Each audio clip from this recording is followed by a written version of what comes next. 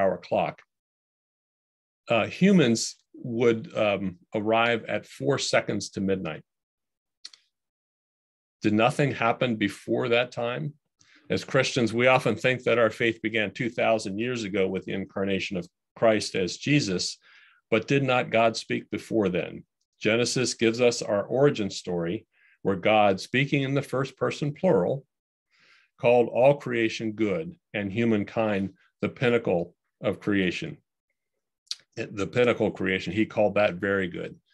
In the beginning of John's gospel, we hear, In the beginning was the Word, and the Word was with God, and the Word was God. He was in the beginning with God. All things came to be through him, and without him, nothing came to be. And at every Eucharistic celebration, we say, as we profess our faith in the Nicene Creed, we believe in God the Father, the Almighty, maker of heaven and earth, of all that is seen and unseen.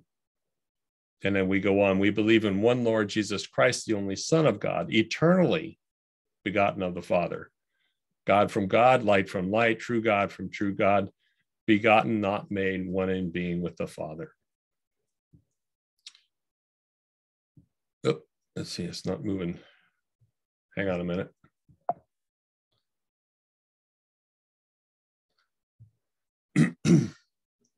um, when our universe cooled um, enough, about 38, uh, about 380,000 years after the Great Flaring Forth, the most abundant elements we see today began to form hydrogen and helium. Nearly all the hydrogen that currently exists in the universe came from this time. By atomic weight, our bodies contain about 10% hydrogen. Much of this is part of the water molecule. So, at our very core, we are made of the stuff of the universe. So, if you're feeling a bit tired this morning, you can blame it on that hydrogen, which is 13 billion years old. So, it's got some miles on it. God created us. We are made of stardust, and that uh, and these early elements exist throughout the universe and all creatures on the earth so, can we begin to say that we as are as part of creation and with all of creation, and we are a communion of subjects, not just a collection of objects? Seen in this way, it's also easier to understand that we are indeed made in God's image and likeness, but we must also recall that all of creation gives praise to God and inspires even the rivers and the trees to clap their hands. So, our neglect of the environment also pushes us to remember that Mother Nature is barking back, and that bark is loudest if you are poor. For those of us with insurance, the financial resources, and other support systems, hopefully all we will suffer is the inconvenience of climate change. For the poor, think renters in the United States who have few resources, no savings, unreliable transportation, what little they could, what uh, what little they could have have could be take gone in a day. And for subsistence farmers in many places around the world, particularly in sub-Saharan Africa, in India, in poor island nations, climate change is a matter of life and death. In Fratelli Tutti, Pope Francis warns us to guard against a lazy, a lazy kind of search for truth and to be led as sheep by those who, whose goals are power and glory. We must instead work to find truth and recognize that there are universal values that come from that truth and are derived from the natural law. So, for example, it's universally recognized that one nation should not invade another without clear cause. It is undeniably true that Afghani, Ukrainian, Filipino, or Colombian parents, and today let's also say New York and Texas parents, that they love their children just as much as Americans love their own children. It's also a fact that at the moment of human conception, the being is a human one.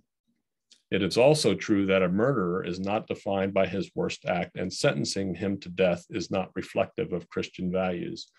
So I contend that if we stop, quiet our minds and our bodies, and listen to our hearts, that is to God, we can only come to these same conclusions.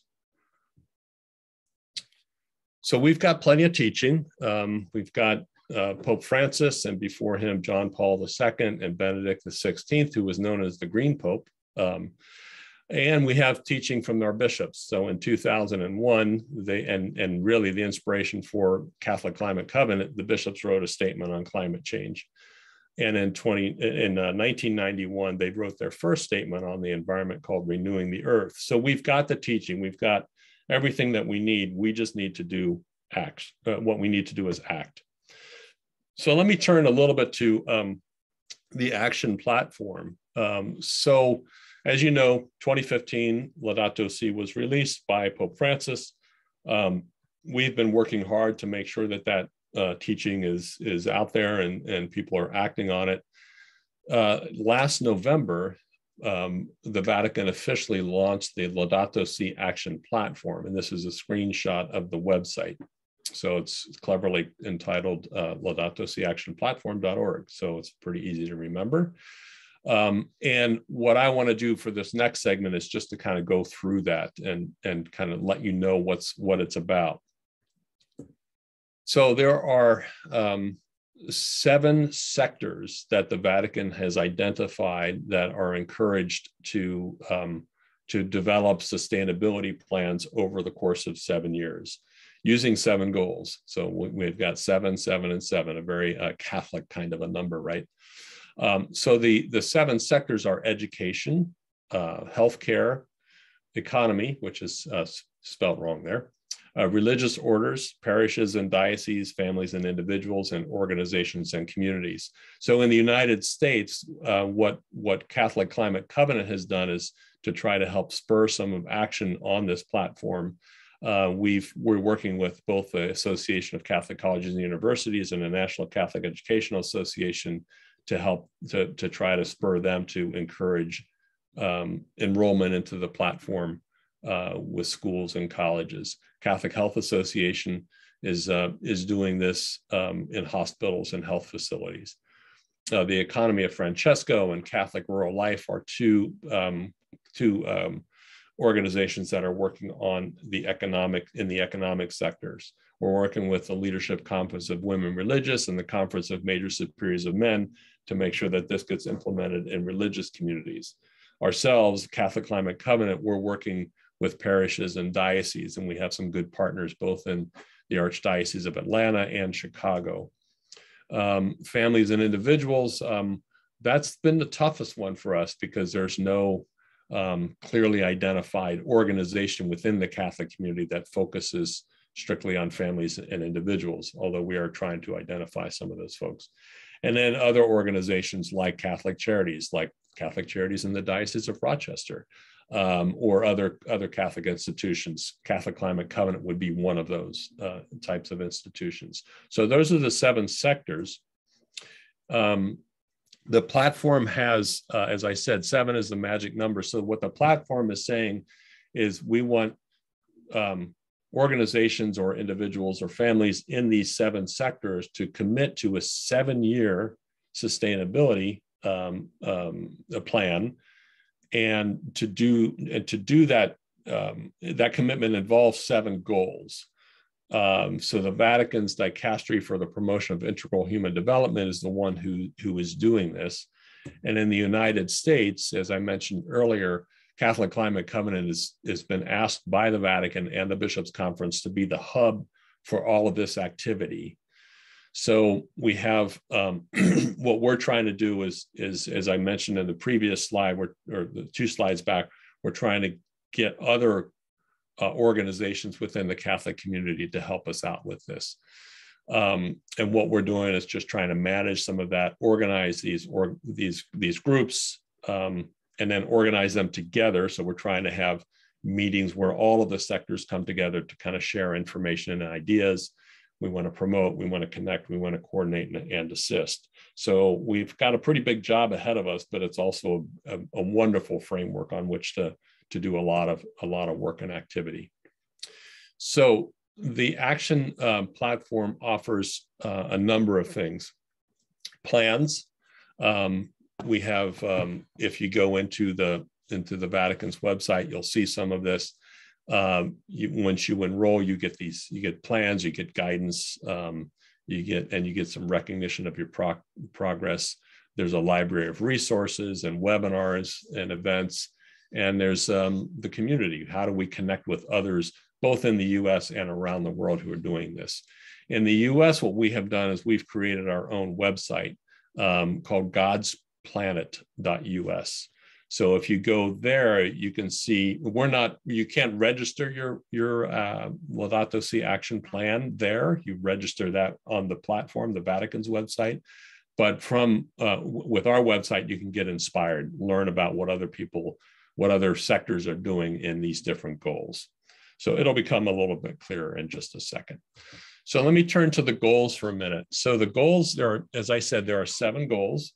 Um, response to the cry of the earth, response to the cry of the poor, ecological economics, uh, the adoption of simpler lifestyles, ecological education, ecological spirituality, and community engagement. So let's just go through each of those in, in turn. so let's start with goal number one, um, responding to the cry of the earth.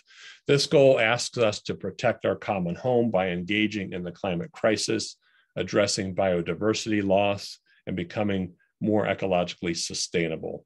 In our families, workplaces, parishes, and schools, we can all try to adopt renewable energy and energy efficiency projects, seek to go carbon neutral, buy products that are sustainably uh, produced, and so forth.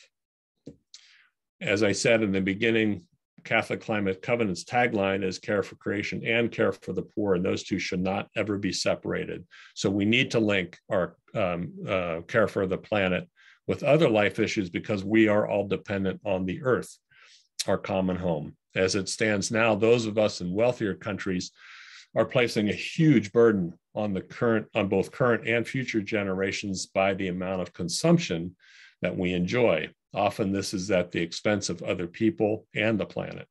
As we pollute our air, water, and land, it is often the poorest who suffer the most. Many of our power plants and landfills, for example, are near low income communities and communities of color. Achieving some of the demands of the goal one also helps in this goal. For example, switching to renewable energy sources helps to reduce energy from those polluting power plants and more importantly, helps to bend the global warming curve, which is already impacting us and is putting future generations in serious jeopardy. So we must keep in mind that we have to build bridges of solidarity to those communities on the margins and those most impacted by our neglect. Ecological economics. In the 1986 pastoral letter on the economy, the bishop said that economics should work for people, not the other way around. So in this goal, we recognize uh, that how we order society economically impacts our planet, which in turn impacts human well-being. So every decision we make about what we buy, how we move, how we heat and cool our homes, how we invest, and how we treat workers and the planet have impacts beyond fulfilling our own immediate needs. Um, the next um, goal is uh, is the adoption of sustainable lifestyles. So focusing just on our parish facilities for a moment, let's think about this. Think about the witness that that could have to the wider community. And I would add to young people who are clamoring for the church to be leaders on this issue.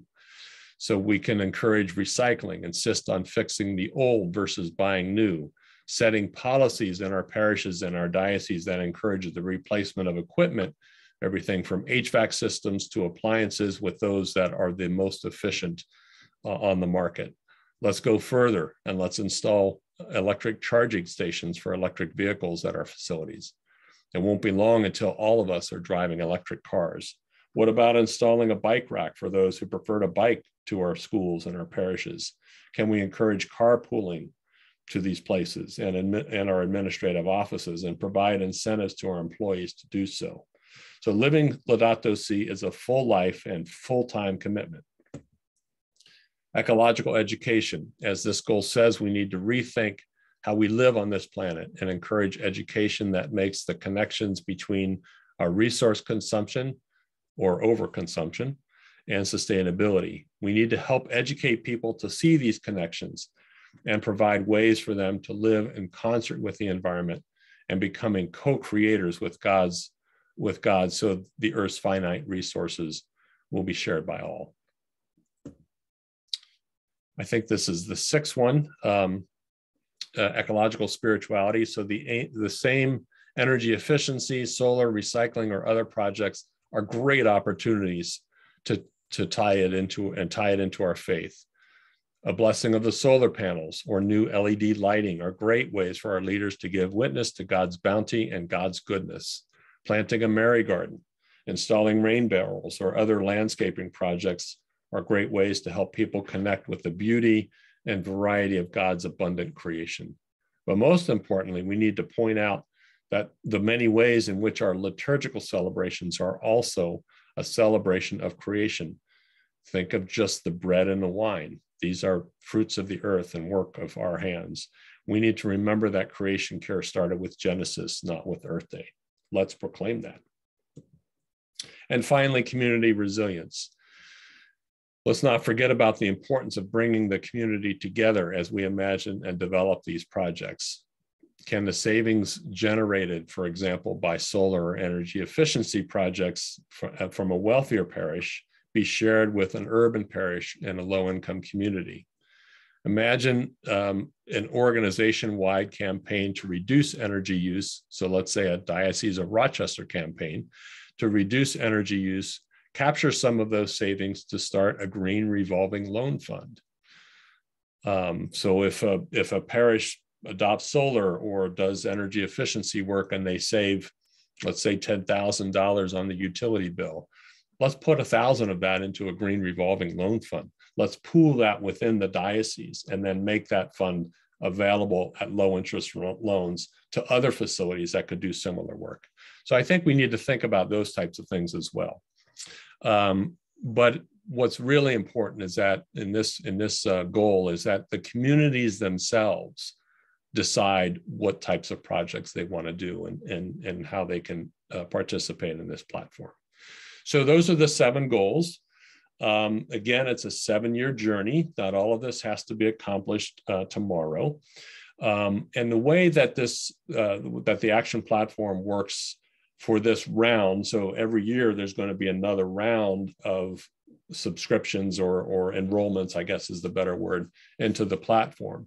This first one ends um, November 14th, which is the day that, well, it was launched November 14th. It's going to end, I think, oh yeah, October in October. So the first cohort, the first year of institutions committing to a seven year sustainability plan will end on the Feast of St. Francis. So what's the idea is that what you do is the first year you discern you reflect and you plan. So you you, you submit your, your you submit your intention to do a seven year sustainability plan. And then from october 4th 2022 until october 4th 2023 you're discerning how do we how do we best implement this plan? Um, and then from years two to six you implement that plan. And then in year seven you have a sabbath celebration so that's going to happen this year. It'll happen next year. It'll happen the year after that. And who knows, maybe um, until we solve this crisis, which could be a long, long time. But let's, you know, we should all get started. So you can enroll in the platform, as I, as I mentioned earlier, on the Vatican's website, Laudato Si Action Platform.org uh, backslash register. So when you enroll, you can expect to receive planning guides, suggested actions, direct contact with a community of peers and leading Catholic organizations offering inspiration and accompaniment. And again, I would say in the US, you can rely on the covenant for that.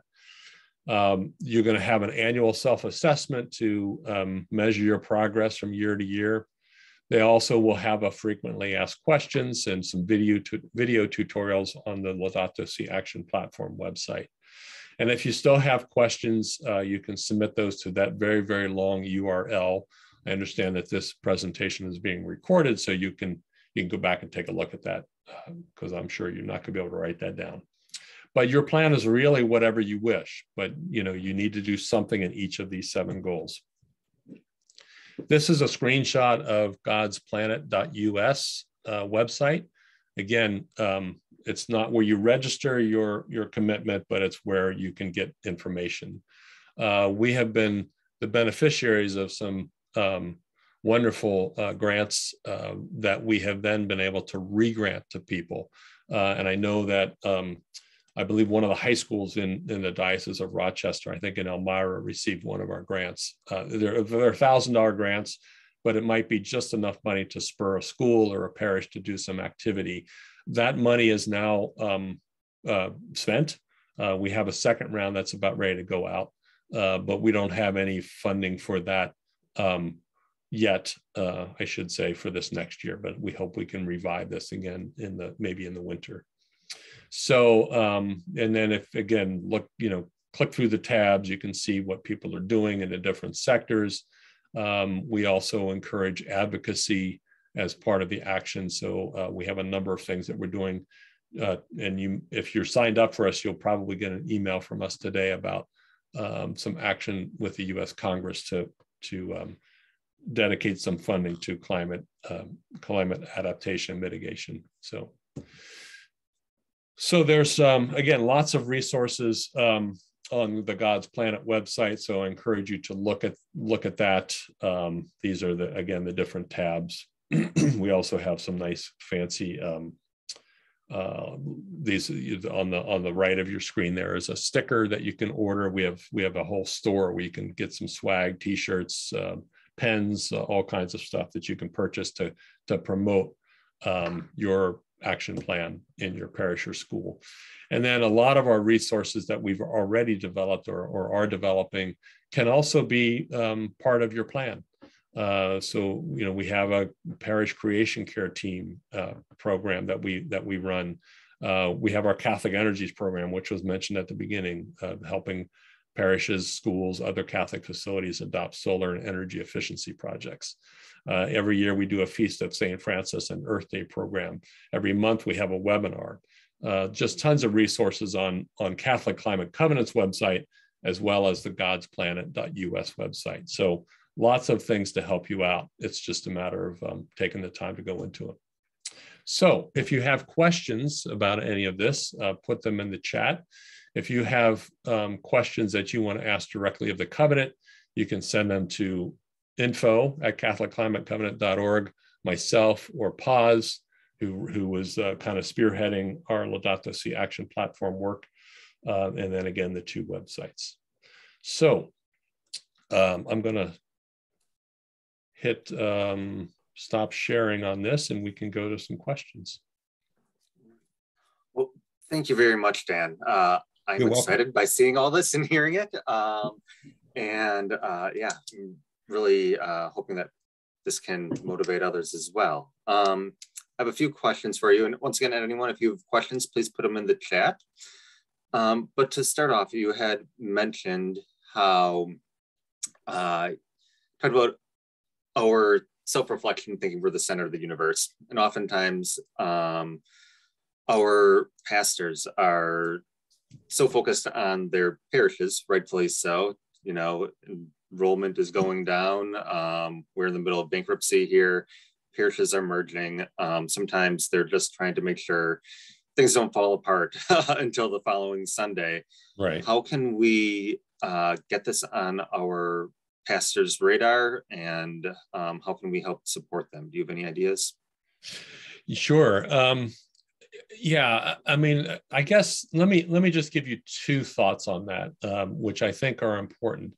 We all have to recognize how busy our pastors are and our bishop um, is is. Um, however, um, in times of economic downturn and in times of of, uh, of turmoil, um, one of the things that most pastors, if not all pastors, always appreciate is how to save money most of these projects, uh, energy efficiency projects and solar projects, can be done with little or no cost out of out of the pocket of of the parish. Our solar program. So let me just give you a couple of examples. So, um, so our solar program, um, we built a two megawatt solar power uh, generation land based um, system for the Catholic charities in, here in the Archdiocese of Washington D.C. They had a piece of property um, this is just such an amazing story. So they have a piece of property in the District of Columbia, which is um, like New York, is one of the better solar markets in the country. Uh, we put two megawatts on five of the 15 acres that this property had available. It was just a big field. Um, on that property are Mother Teresa's nuns working uh, to do long-term health care for indigent um, residents of, of the district. Um, that building is falling apart. It needs a lot of uh, deferred maintenance. So we put two megawatts on the property. Uh, it saves the Catholic Charities $250,000 a year on their electric bill, which they can use to open more shelters, to feed more people, to counsel more folks who are lost. That system is owned by a third party. An investor purchased that system so they can get the federal tax credit. Um, but they have to pay a lease payment of $185,000 a year to the two Catholic charities uh, for the privilege of having their solar array generating electricity for the for Catholic charities on that property. That $185,000 is going to offset that deferred maintenance on that building. Um, so new roof, windows, new uh, HVAC system, all of those kinds of things. And um, another group came to us and said, could we put pollinator plants between the panels and use it as an urban study center for pollinators. so, I mean, that's a quadruple, quintuple bottom line. I mean, it's just a wonderful project. Those are the types of things that can be done in a lot of places. Um, my own pastor here in, in Maryland uh, came to me and said, You're the climate change guy, right? I said, Yeah. He goes, Well, how about doing something for the parish? So I arranged for an LED retrofit for our school and our parish. The school is now saving $6,000 a year on their electric bill just by swapping out bulbs from, um, from compact fluorescence or fluorescence to LED lighting. Um, so now you've got the pastor's attention. You know, I just saved you $6,000 a year let's take advantage of that uh, and and uh, educate our people on it which comes to my second reason which is doing these types of projects is a great evangelical or e- e- um, evangelical moment for the church. If we want to keep or attract young people our parishes and our schools have to do this work. We have to demonstrate that we're committed to their future. And that's what this is about. It's about committing to their future uh, by reducing costs, by um, lowering greenhouse gas emissions that are creating uh, this problem of climate change. Uh, and, and what better way to do that than, than to do these types of projects and then talk about not only the savings and the carbon reductions, but that this is what we're supposed to do as Catholics. Um, so those would be two pretty good motivations to get your pastor on board, I would think. Yeah, I would think so. I don't know what pastor would say no to that. um, right.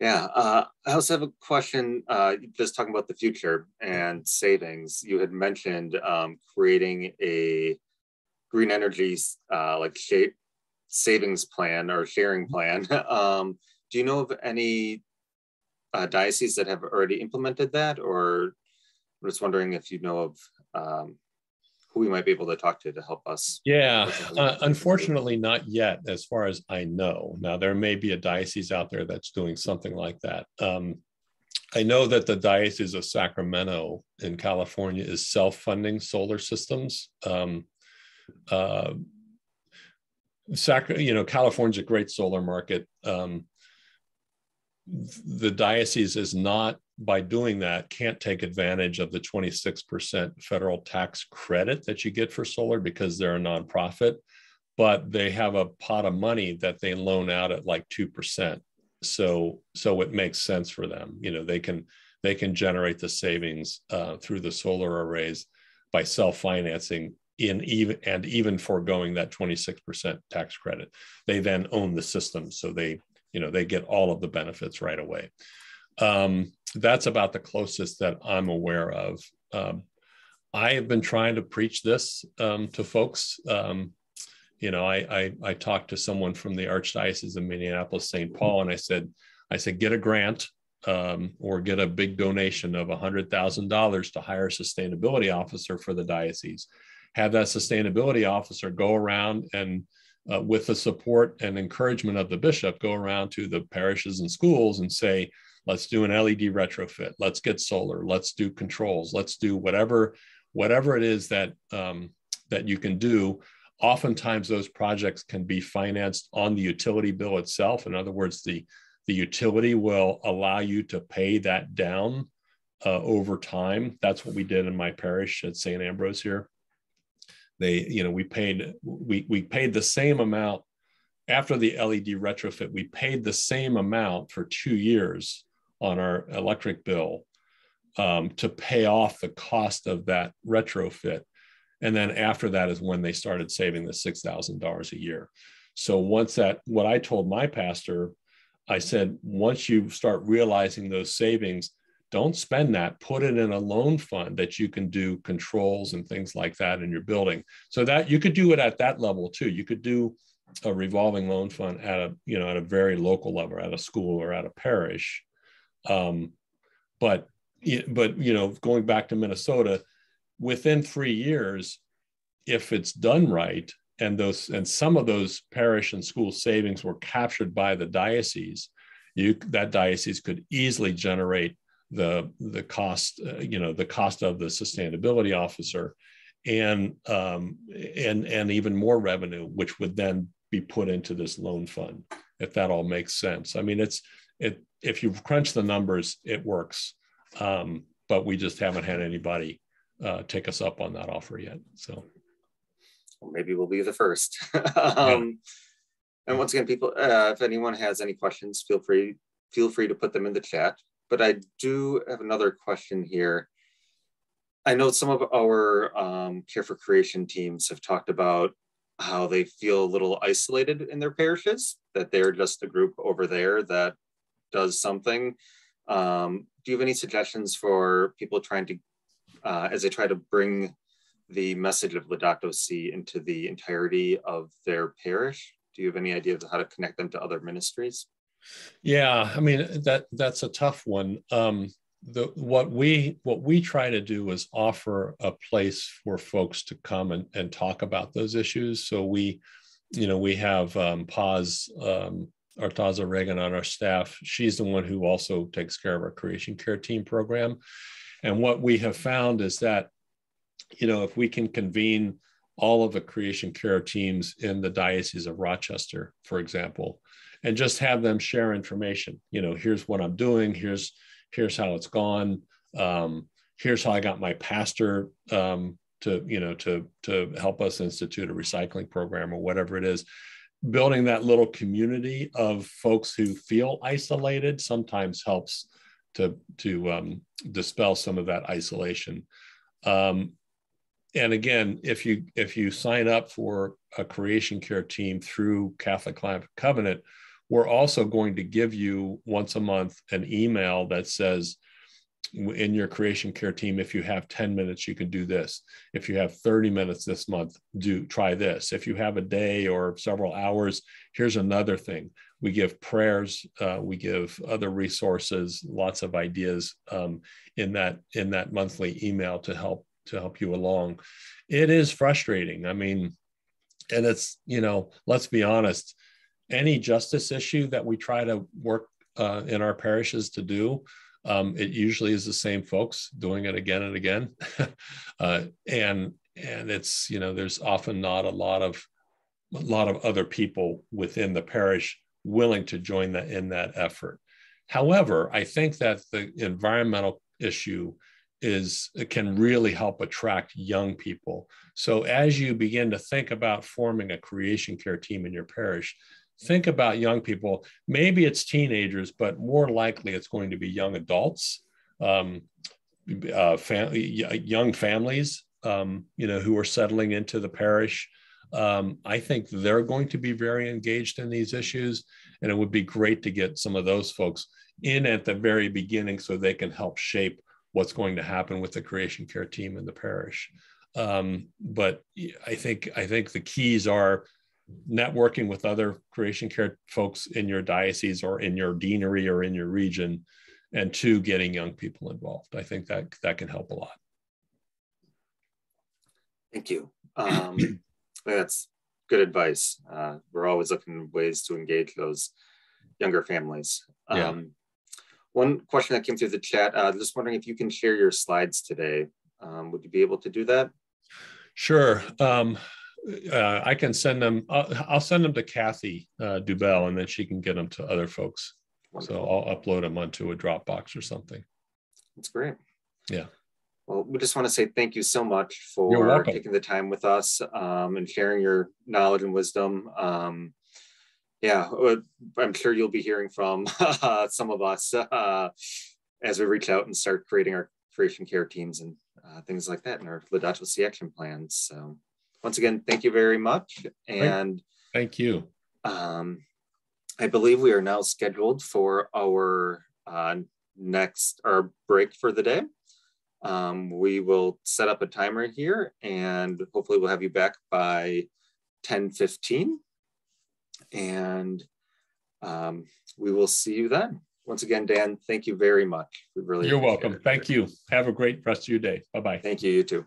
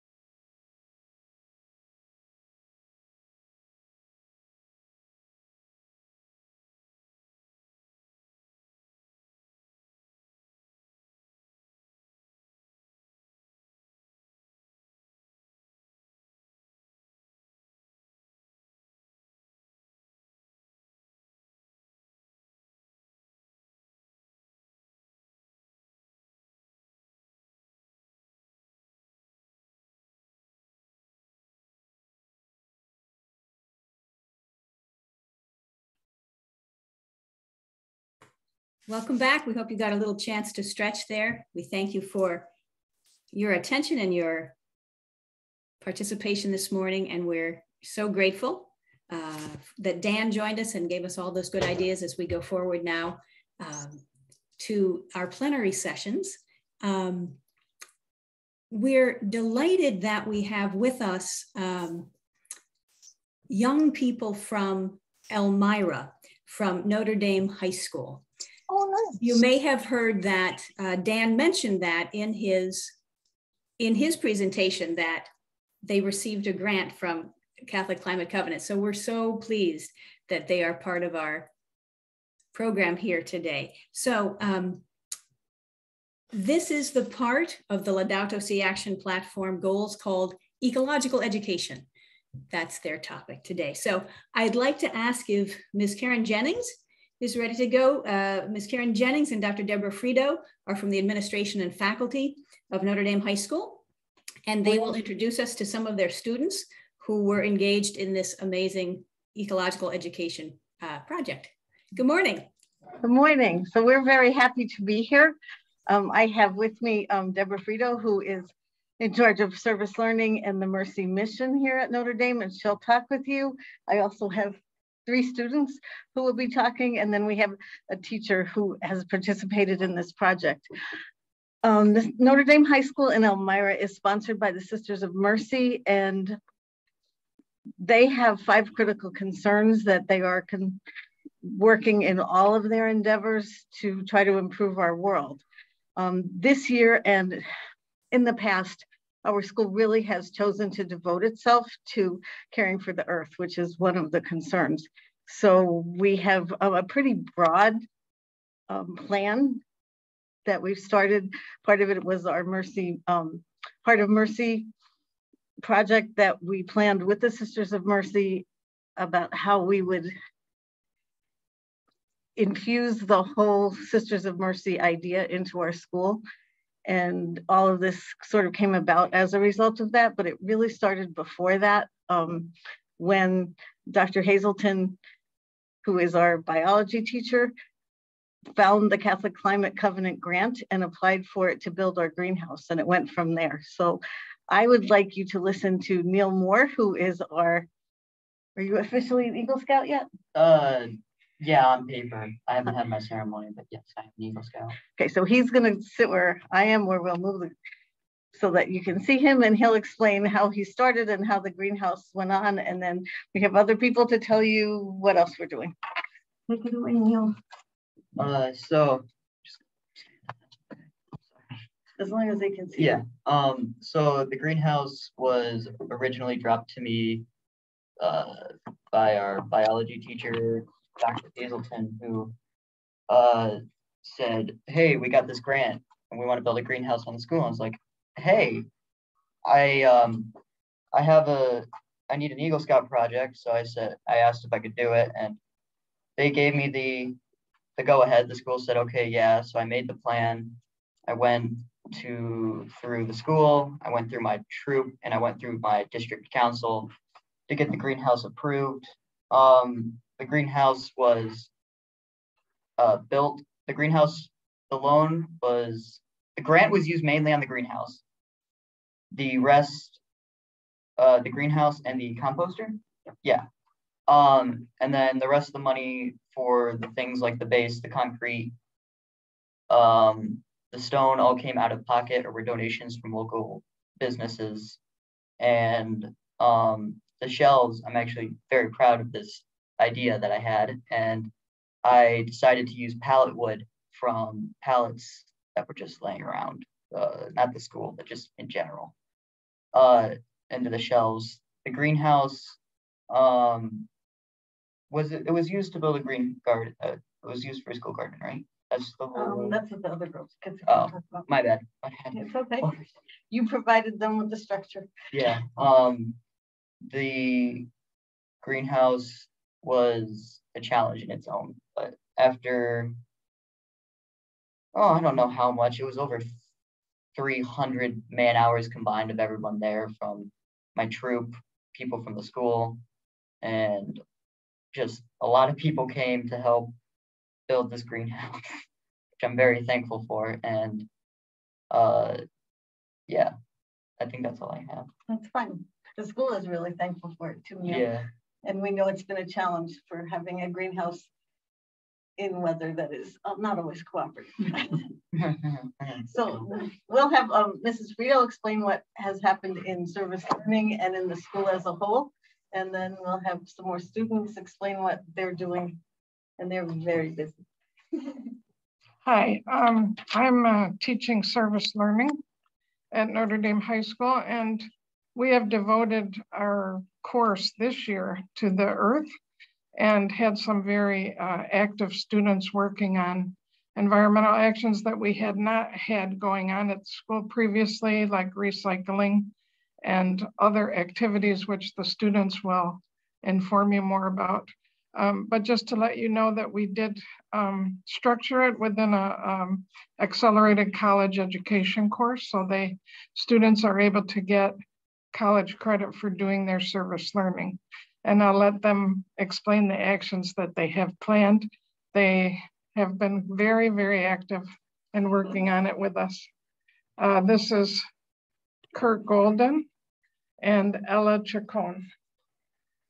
We're we're very very busy and have a lot a lot of ideas. A lot of initiatives. Yeah. So starting off, we have a uh, we're starting with the five cent returnable bins as a way to fund our club and all of the gardening endeavors that we're planning. We recently received a grant to for compost beds that we are using to plant uh, flowers, plants, vegetables, everything. And our hope is that we can use them in the cafeteria to both save the school money and provide a uh, healthier diet for students. Uh, we also are in the process of fixing the greenhouse since the weather is not always agreeable in this climate. We do live in upstate New York. It does, we do get a lot of snow and wind. Mm -hmm. But we're in the process of fixing it. So hopefully by next school year, it should be in good operating condition. Uh, we also have school-wide initiatives for recycling and composting where we have compost bins in our cafeteria where we use and take out to the garden to help fertilize it. And we also have recycling bins in every classroom that students in the Climate Crusaders Club take out every week. So um, we worked with service learning this year, first semester, to, and they created all these posters about all initiatives and they're posted all over the school and they've been up all year. So they talk about pollution, they talk about saving the world, they talk about water, reusable materials, recycling. Recycling. Um, so for the Climate Crusaders, we started the club over the summer because we realized we need an environmental club. It's one of the main issues that our world is facing, and we need one in order to be part of the change. So to help further along our club, we have gotten permission to create an Instagram account so that all the other schools in our area can see what we're doing to help the school, can see all of the projects that we're doing, all of our ideas, have comments, and can do it in their school as well. So we're trying to get a butterfly garden, and we have a small area next to the greenhouse. So we had a fundraiser, we had a dress down on Earth Day, and we're hoping to use some of the money that we collected from the dress down day to finance plants for the garden beds and plants for the butterfly garden so we can keep the endangered species alive.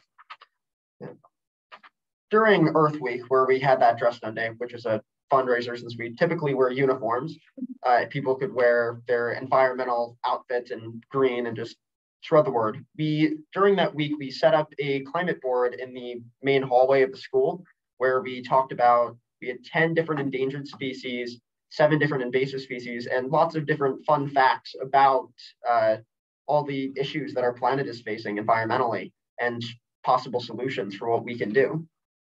Now, during the fall, we are also planning a fundraiser uh, for bike ride to encourage the use of carbon neutral transportation. And uh, the, it's still in the early stages, but our hope is also that we can add a cleanup of litter element to that too. And we're working at the end of the school year to try and get the younger kids involved because we are juniors. So next year we'll be seniors and we'll have to hand it off to them. And we're hoping that we've given them enough of a step so that they can follow in our footsteps and do a good job further down in the years. Thank you. Thank you. That was a perfect segue because our next speaker is Mrs. Jenica Dremmer, who teaches eighth grade English. And she is an example of how we've tried to integrate um, concern for the earth into our classrooms. And we're gonna give her some props. Hello, everybody. Good morning. Um, this is my third year um, teaching this wonderful book, A Long Walk to Water by Linda Sue Park, and it is about Salva Dut, who is a lost boy who survived the um, war in Sudan and then was adopted um, by a family in Rochester.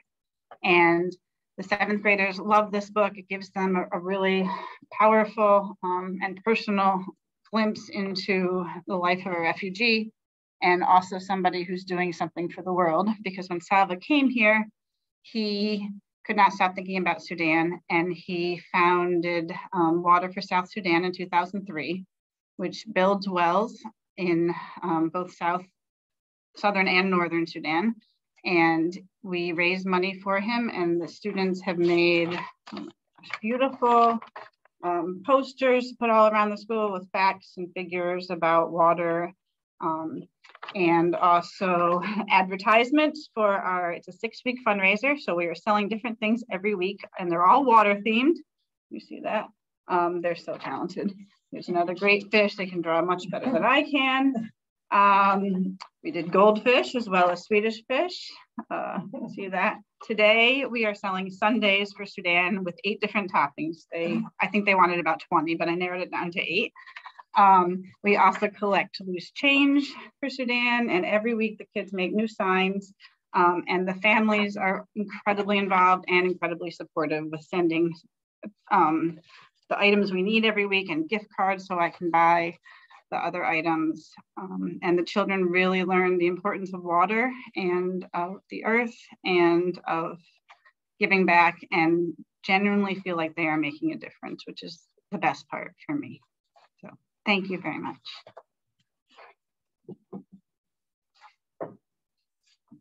Me again. So thank you for having us. Um, if there are, are there questions in the chat? We'd be happy to try to answer them. And we'd also be happy if anybody wanted, oh, thank you. We got, we love Notre Dame students from Kate and Katie. This is from all of you. This is wonderful. And we do have an Instagram account um, and we have a Facebook page. And if anyone wants to contact me or Mrs. Frito, um, I can type in our emails. We would be happy to share with you any materials that we have.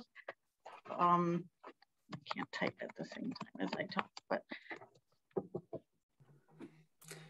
Mrs. Um, Frito uh, ran uh, the whole program for the school and included um, all the faculty. She set up um, a Google Drive where we could share materials and she coordinated meetings that went on for um, probably six months before we got started. So we've done a good, what I think is a wonderful job and I'm really proud of all of them. And I would like to thank all of them for participating today and all of our community that supported Neil, and most of all, all of you for being interested in what we're doing. So thank you.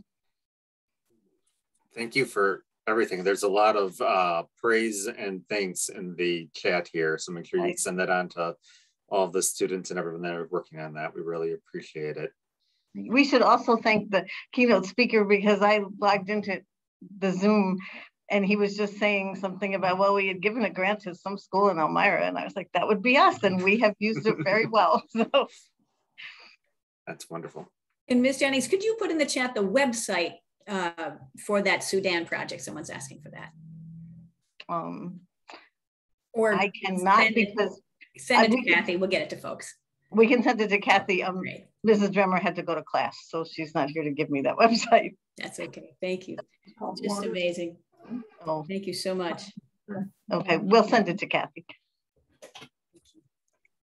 Let's all unmute and give them a round of applause. Oh, Kathy, thank you. I'm really proud of these kids. They did a great job with not a lot of time to plan. The end of the year is incredibly busy for them. Bravo. Well, thank you so much. I want to thank all of the all of the whole team from Notre Dame High School. It just we're so proud of that, and And I have to say, it's it's a little tough to follow you, but I am our next speaker, and, I, and I'm not I'm not nearly as um, uh, young and and uh, uh, cute. But anyways, extraordinarily inspiring. Thank you so much, Ms. Jennings and everybody. Um, You're welcome. So our next uh, plenary session, our next topic uh, falls under that Laudato Si goal called community engagement. So um, if you've been uh, looking in your church bulletin or looking at the Justice, Peace, and Life newsletter, you, I think, will have heard about this next topic. Um, it's a bill that our Diocesan Public Policy Committee is focusing on and asking for you to engage in uh, to be part of our legislative advocacy efforts. So let me dive into a few details. Um, folks may well have heard of cryptocurrency. It's been making the news these days. But I'm going to guess that not too many people on this conference today has, have ever used it. Uh, millions of people use it, but that also means billions of us never have. So it's could be a bit of a mystery still for a lot of us. Cryptocurrency is a computer generated money. It's not backed by any government. The process of generating what we call cryptocurrency mining, this is an industry that's fairly new and it's definitely new to New York State. Across the state, there have been a few companies that have been buying decommissioned power plants. This, these are often powered by electricity generated by fracked natural gas. And they turn these decommissioned power plants into what are called cryptocurrency mining operations. And even that's a little confusing. No one's digging under the earth. No one's digging down into a tunnel to get out Bitcoin, but it is called mining. The reason that we're focused on this industry is because it consumes an enormous amount of electricity. And that's particularly bad when that electricity is generated by burning fossil fuels. I'm not going to try to get into the complex technical explanation of how cryptocurrency is generated. It's certainly available online if you want to dig into it, but suffice it to say, there is one process which is called proof of work that is of particular concern. The complicated mathematical calculations used to create cryptocurrency through this proof of work process require thousands of computers, and those computers have to run nonstop 24 7. So you can imagine the pollution produced by these computers' energy use is really staggering. Just one cryptocurrency operation produces the equivalent amount of carbon dioxide as putting nearly 50,000 new cars on the road. These operations use water to cool down those computers. You can imagine the heat generated from huge banks of computers running all day, and then discharge that heated up water into nearby lakes and streams. Heating up natural waterways is an additional environmental concern because it risks the havoc of algae blooms and fish kills. Any of you who are uh, fishermen, you know that. Here in our diocese, we have one such cryptocurrency mining operation called Greenidge Generation. It's in Dresden, which is in Yates County, and it sits near Seneca Lake.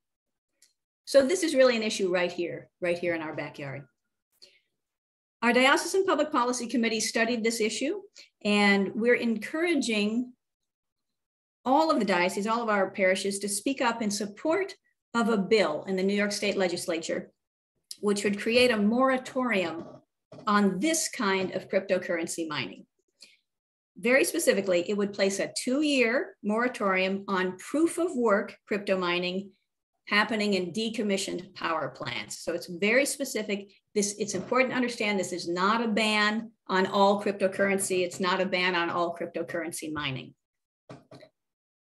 But we and many environmental groups agree that this temporary stoppage would provide our New York State Department of Environmental Conservation with some time to really research the environmental impact, the energy use of this new industry. Because it's so new, it sort of, I won't say came out of nowhere, but came pretty quickly into prominence. I think we just didn't know what its impact would be until all of a sudden now it's happening.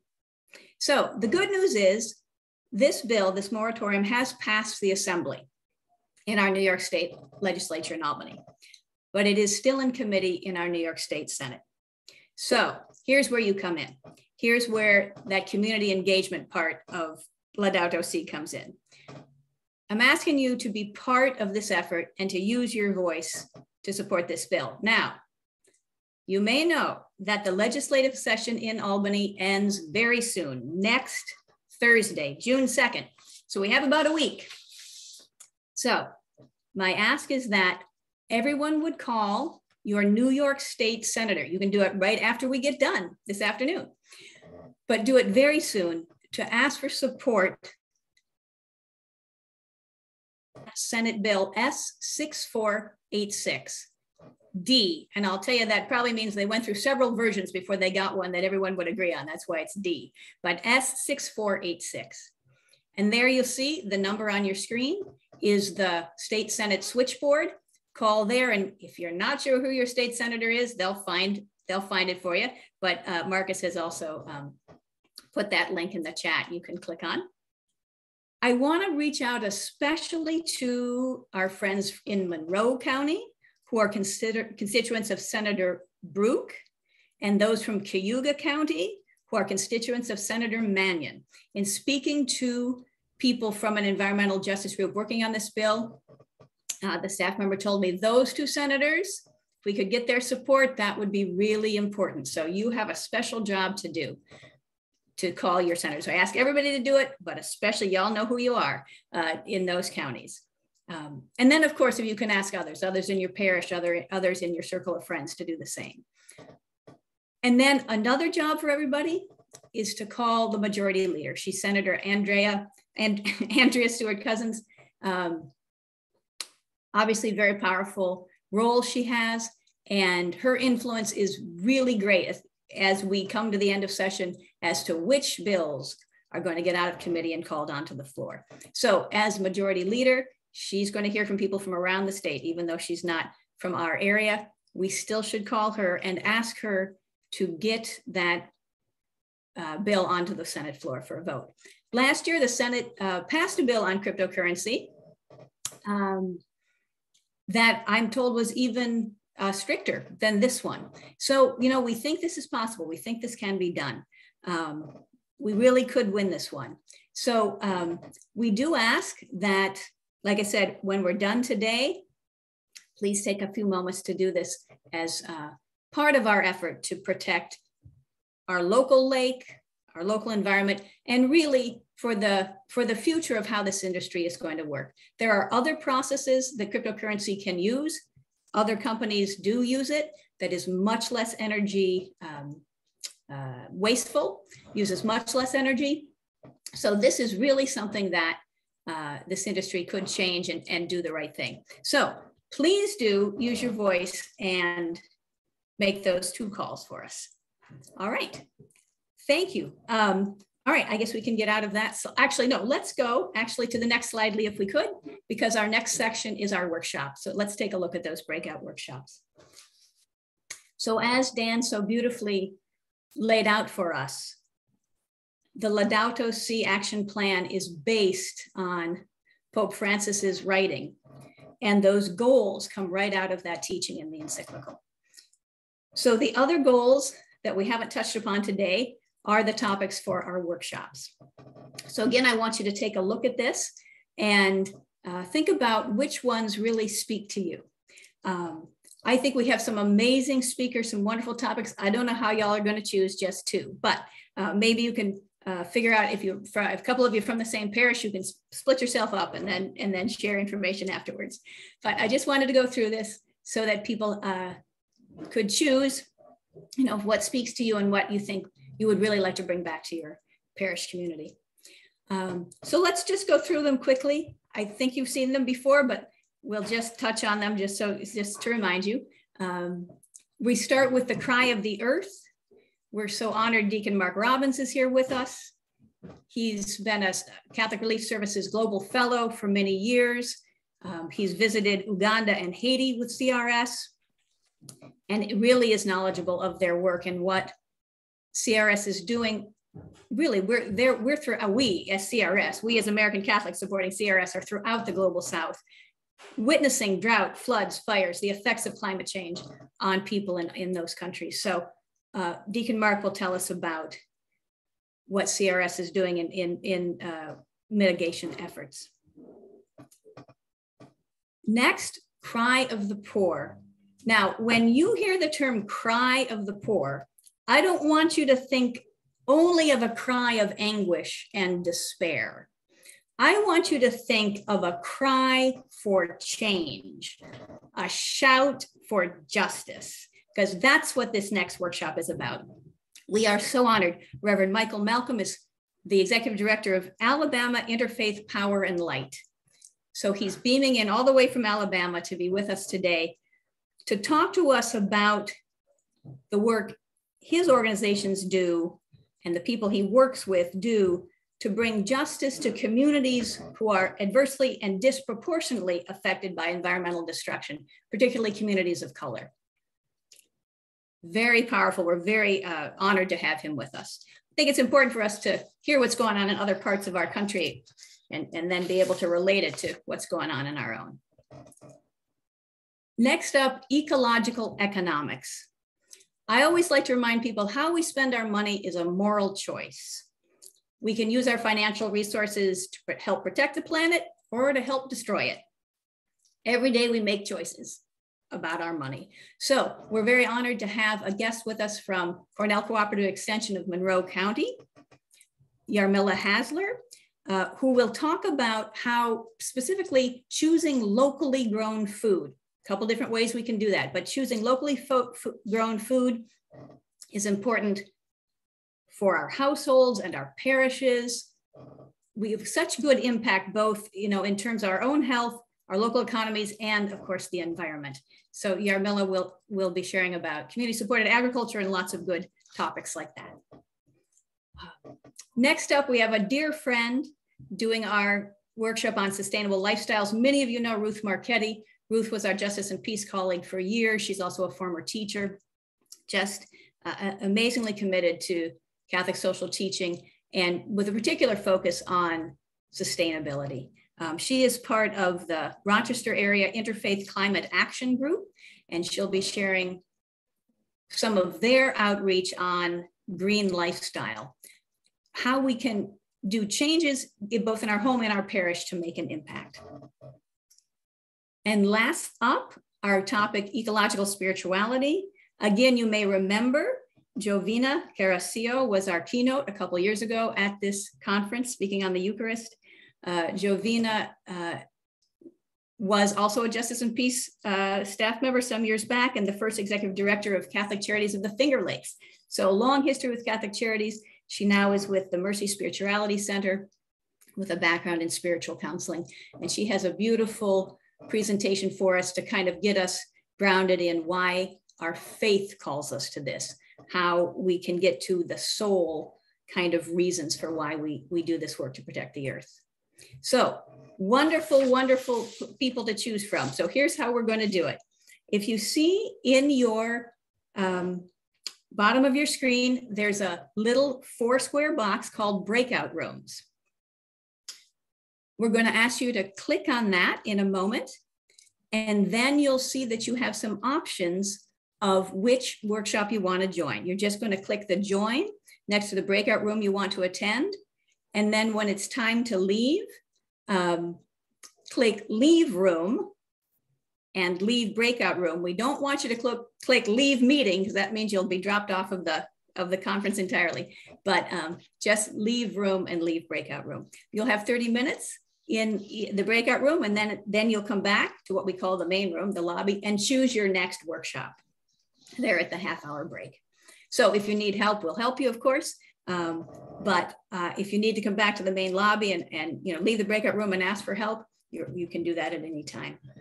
So let's give it a try. Let's click breakout rooms and choose your breakout rooms and we'll see you in about half an hour. So uh, happy to introduce my colleague Marcus, Marcus Ebenho, who's the Director of Advocacy and Parish Social Ministry at our Monroe County Catholic Charities Office, newly named Catholic uh, Family and Community Services. And he is going to tell us about this next step we would like to take as a diocese. Marcus, are you ready to go? I am. Thank, Thank you. I'm excited to be here uh, today. I'm excited to be uh, part of the group uh, to kick this off. So as we've been talking about all day today, um, the Laudato Si Action Platform, and we are hoping to uh, start it here in Rochester and kind of create our own network that'll work for our diocese here. Um, so we've already covered some of this earlier today. So thankfully it's more of a review, but what is the platform? Um, according to Pope Francis, he says it's a journey towards full sustainability in the holistic spirit of integral ecology, Just kind of a mouthful, but it's really talking about uh, seeing the connections uh, between ourselves and all of creation and um, not just our actions, but uh, how that impacts our community and our parishes and everything in between. Uh, we today have thinking about the See Judge Act um, system of responding to things. We've seen a lot today. We've judged, we've heard about what needs to happen, and now it's time to act on that. Um, so this is what uh, one way that Catholics throughout the world are acting. We're also using the platform to pray and reflect and to see and judge things, but it's definitely the end focus is for us to act as well. Um, it's also a visioning of who we are and what we need to be or to become. As a church, uh, we're always growing, we're always changing. I believe the spirit is always working through us. and if we become stagnant, then we, I don't think, are fully listening to the spirit. So um, this is a chance for us to uh, enliven who we are as individuals, as families, as communities, as parishes. Um, and we're going to do this together. Um, this network that we are kicking off today um, will hopefully uh, bring us together and see our commonality when so often uh, society wants us to see how we're different from one another. But this is a way for us to uh, ground ourselves, um, reground ourselves in God and in our neighbor, um, recognizing that uh, we are our neighbor's keeper, my brother's keeper, and that we need to uh, do this all together. Uh, once again, just a quick review of the seven goals. We've seen those and heard them multiple times today. So the cry of the earth, the cry of the poor, uh, ecological economics, adaptation of our sustainable lifestyles, ecological education, ecological spirituality, and community resilience and empowerment. uh, and who is participating. So once again, um, as Dan touched on this earlier, we're looking at the whole Catholic world, therefore all of the world. um, we're looking at families and households. We're looking at schools. We're looking at uh, the economy and our religious orders. Um, especially today, our focus is on parishes and the diocese. We're looking at Catholic hospitals and healthcare settings and uh, organizations and groups, you know, Catholic charities and others like that, um, so that this anyone kind of connected to the Catholic world should be aware of this and connecting and making this part of making these changes uh, in how they are uh, doing their jobs and living their everyday lives. So what does this mean for you? What does this kickoff of this network mean? Um, it means that we need you to be an ally in your parish. um, we need you to be a voice. We need you um, to start bringing these ideas up and uh, this uh, weaving it into the everyday life of parishes. Um, we recognize every parish is different and at a different place in this journey. We've had some parishes who have had their care for creation teams here for a decade. They've been going well and uh, have really been a mainstay in their parishes. Other parishes, this has never been brought up. Um, you may be thinking you're the only person uh, in your parish who cares about this, and I would doubt if that's true. But I think, um, you know, there may be some parishes where they're more aware of this than others. Um, but we're going to help you and your parish hopefully uh, set both short-term and long-term goals. Uh, the action platform also kind of helps you walk you through this. Um, uh, to go along with this is that there's a self-assessment that the uh, the action platform wants you to do at the beginning so that they can say, hey, this is where you are in 2022, 2023 and seven years from now, they want you to do the same assessment and say, hey, look how far we've come. So um, this can be a little overwhelming at first, especially if you're just like, I'm a person in the pew and I'm trying to get involved. Um, but we will hopefully help you walk you through that, how your parish can get involved um, and that you're not alone in doing all of this as well. Um, and as Dan had mentioned, um, that we want to connect you to a kind of a cohort of other parishes who are on the same stage of the journey. So like I said, some parishes are much further along um, who have been doing this for years and they've had some initiatives, they've done different things, and there are those who haven't done anything at all. And so we also recognize that the needs of different parishes and who's around them are going to be very different. So, you know, what St. Monica's in the downtown Rochester needs is very different than St. Pat's and Victor, or very different than a Southern Tier parish. That, you know, these needs are going to be different depending on where you are, um, and that we will hopefully kind of connect you to the neighboring parishes, those in your uh, surrounding area, so that you can uh, brainstorm and work together on things. Um, and sometimes, you know, you may not have enough people to really get a full team at your parish, but the neighboring parish has the same thing. When you take three people from your parish and two or three from another, all of a sudden you have a nice little team, a nice committee that you can work together on things. So um, our next steps, um, what does this mean for you? Um, in the next few days, you'll receive an email from me um, that will ask you uh, about, you know, where your parish is. You know, do you have a care for community team, care for creation team? Sorry, not community. Um, do you uh, are you part of it? You know, are um, what has your parish done or what haven't you done? Um, other ideas that you might have. You know, I really want to get a sense of where every parish is, and then um, we can take it from there. Uh, that will kind of hopefully bring you together. Um, I'll be kind of the joining force, um, and then you guys can take it and run with it as your parishes need. So just to get this started, um, we're going to have uh, our first meeting all together. Um, once again, will be Tuesday, June 14th at 12 p.m. Um, this is just a random date and time that I picked that I would hope would work for others. And so we can uh, run another one of these if we need to. But my hope is that we can kind of figure out where everyone is and then just take this baby step by baby step and one bite at a time. We will help you and your parish build this um, build this plan and together we'll build a network and we can really start to live this out. So um, I know this is very quick, um, but we're coming up on near the end of our time here. Um, if you have any questions, put them in the chat. I will try to respond to them as quickly as possible, or you can reach out to me. I will put my email in the chat as well. Uh, always feel free to email me with any questions or ideas um, or thoughts on this. And as you can see, uh, there's a nice long quote from Pope Francis there. Um, our goal is not to amass information or to satisfy curiosity, but to rather become painfully aware, to dare to turn what is happening in the world into our own personal suffering, and thus discover what each of us can do about it. I feel like that is words for many parts of this, what we're going through as a country right now.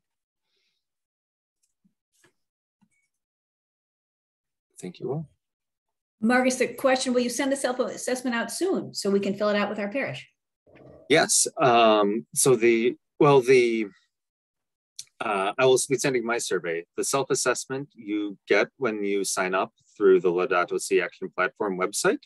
You will get that information right then, um, and then you can start working on that uh, as soon as you can. Mm-hmm. But yours, just for our diocesan yes. effort, will be out probably this week. This week, yes. My hope is by Friday. Great, thank you. Thank you. I'm afraid I can't see any other questions that might be popping up right now, but and therefore I thank think, you. Yeah. Go ahead, Lori. So thank you so much, Marcus. You know, a wonderful effort. Marcus is going to spearhead it for us, and we hope you will all join in and, and bring your parishes along um, to put this into action. So we're coming to the close here, folks. We're um, honored to have uh, Jovina with us again to lead us in prayer and reflection as we close. And Lee will help with the with her uh, uh, video here in just a second. But thank you so much, Jovina, for being with us, and thank you for putting us in the right spirit as we go off. You're welcome, Lori. Thank you. It's been a wonderful morning. Uh, as I sat this morning and did my morning prayer uh, from this book that I use, this Give Us This Day, the first, the reading for morning prayer, I just couldn't not bring it into the closing. Uh, it just was like a drop from the Holy Spirit. It's from the book of Job, chapter 12. Now ask the beasts to teach you, the birds of the air to tell you, speak to the earth to instruct you, and the fish of the sea to inform you. Which of all these does not know that the hand of God has done this? In God's hand is the soul of every living thing and the life breath of all mortal flesh. So, with that connection to our created world, the encyclical, um, toward the end of the encyclical, the Pope writes, There is hope, because if you've read it, you know there's a lot of challenge, and what we've heard today is a lot of challenge. But there is hope, says Pope Francis, and all it takes is one good person to restore hope. And we've had about 100 good persons gathered together this morning. So, in the words of Pope Francis, I encourage you to be that one good person in your own little circle he again, over and over again, calls us to communal living, calls us to a sense of the common good, calls us to conversion of heart. And he says this as one of the attitudes, the first attitude that he says must be present a sense of gratitude and a sense of gratuitousness. So, the closing prayer video that we're going to see now is one about gratitude. It's narrated by Brother David Steindl Rast, who's a member of the Benedictine community of Mount Saviour and here in our diocese. So just take in the video for whatever it would speak to you. Maybe because we've been talking and thinking and stuff, just take a moment uh, to take a deep breath or two uh, to just quiet your mind a little bit and attend to uh, the gift uh, that we will be receiving in the video. Let us be grateful. Let us pray.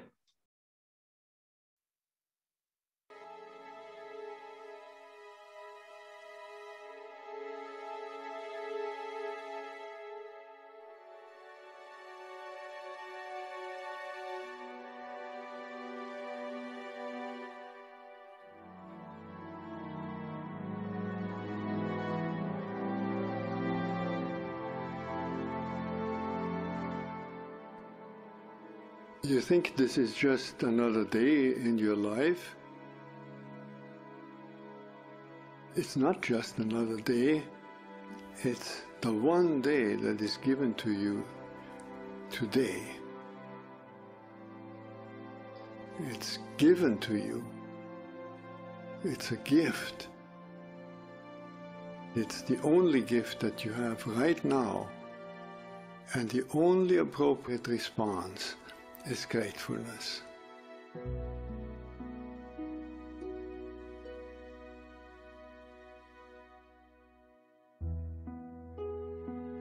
If you do nothing else but to cultivate that response to the great gift that this unique day is, if you learn to respond as if it were the first day in your life, and the very last day, then you will have spent this day very well.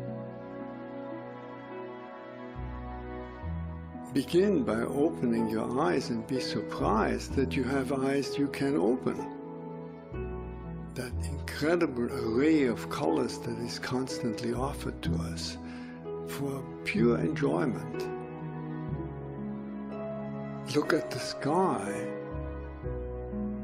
We so rarely look at the sky.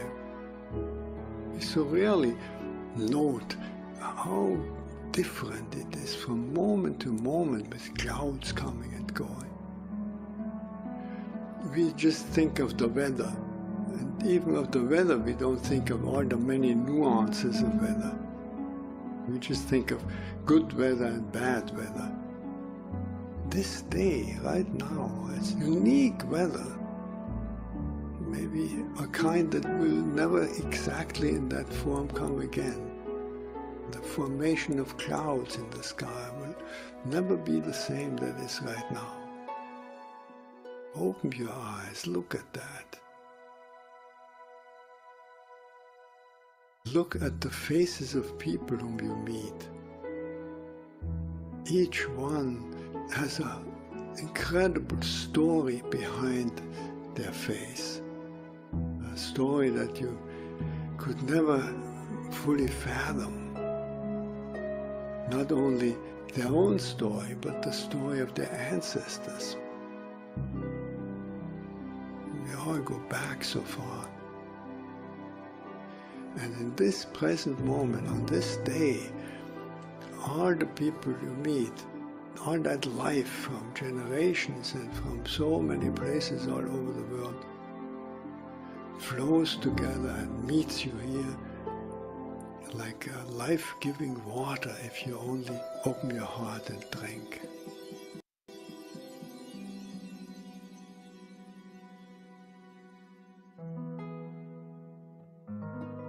open your heart to the incredible gifts that civilization gives to us.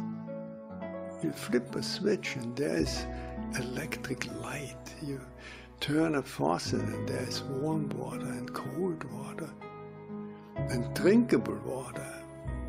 It's a gift that millions and millions in the world uh, will never experience. So these are just a few of an enormous number of gifts to which we can open your heart.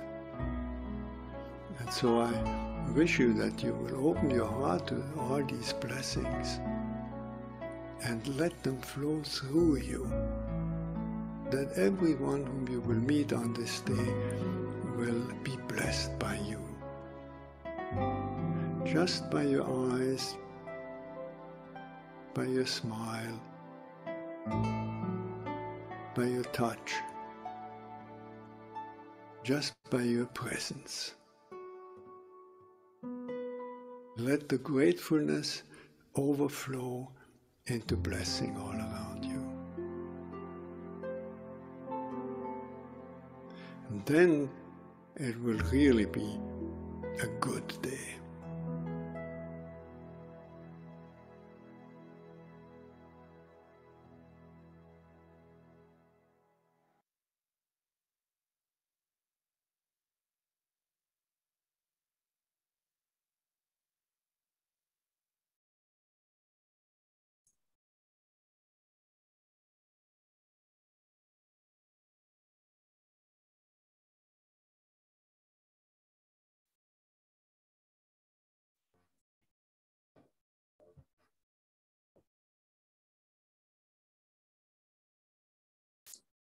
Thank you so much, Jovina, for sharing that inspiration with us. And thank you, all of you, for joining us today. We're so grateful uh, for your participation and for your willingness to be part of this great work of the church. We send you off with our blessings that you would indeed put Laudato Si into action. Thank you.